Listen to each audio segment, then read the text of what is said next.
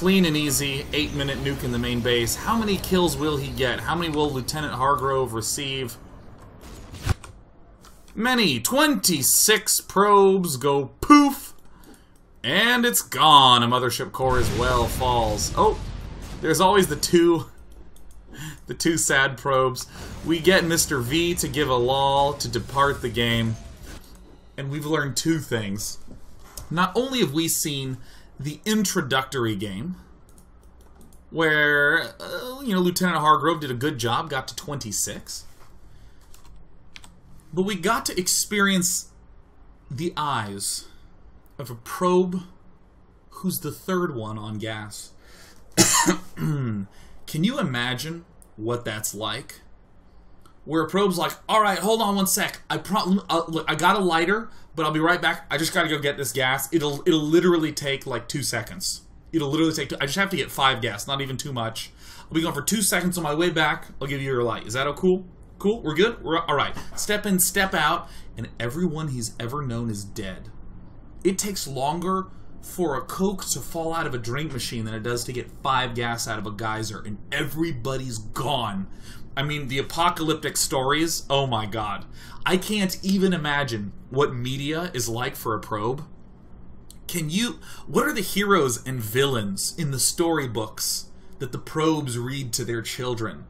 The heroes. He diligently mined until there was no work left to do, and he sat idly, basking in his reward, unless he had a good lieutenant who put him straight back to work in a compact train, the closest he would ever be to his fellow probes, all of which moved through each other efficiently during a workday. But there was always the idle probe. Daddy, I don't want to grow up and be an idle probe. Don't worry, son. All you have to do is wait for that right click from the hand of God. And if it's on a mineral patch, you'll have everything you need, your destiny decided for you. But one day, one day, every story has to have a conflict. One day, a brand new probe, he'd only mined 100 minerals during his entire life. There were veterans who had mined up to 120, built 13 seconds, long and long before he ever existed. And the new one says, What's that?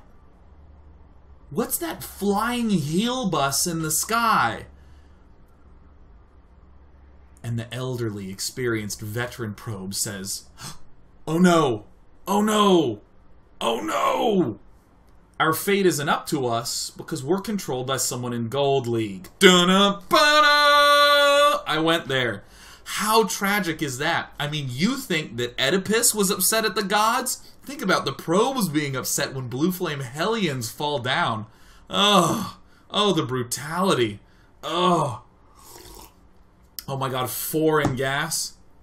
Wait, isn't it foreign gas?